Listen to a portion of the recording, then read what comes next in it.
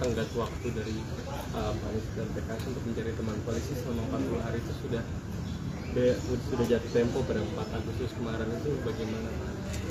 Tapi alhamdulillah kami percaya bahwa aspirasi rakyat Jakarta akan terus dijaga karena semua partai mendapatkan kursi itu aspirasi dari rakyat dan aspirasi rakyat Jakarta sejauh ini kalau kita perhatikan DPW DPW partai di Jakarta sudah mengusulkan nama Nah, nama-nama itu adalah cerminan dari aspirasi warga. Saya percaya dan sampai sekarang kan juga masih sama bahwa semua akan bekerja bersama untuk nantinya bersama-sama memenangkan pilkada Jakarta.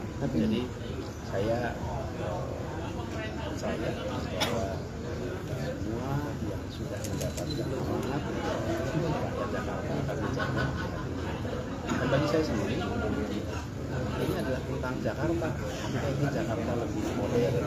Ingin Jakarta lebih baik?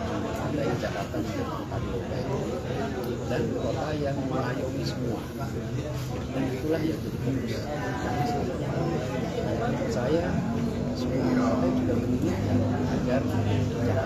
Gracias.